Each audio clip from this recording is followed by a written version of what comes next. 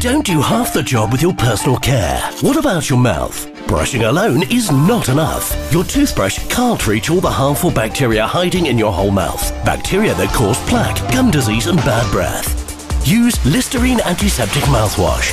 Its powerful formula kills bacteria to prevent oral problems. What brushing starts, Listerine finishes.